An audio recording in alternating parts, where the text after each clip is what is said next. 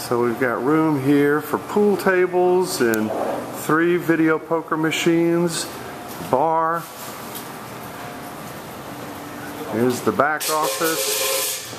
We've got bathrooms, another entrance, and here's more room, another bathroom. And as you can see, that goes to the parking lot in the rear that I was talking about a second ago. So now let's go upstairs.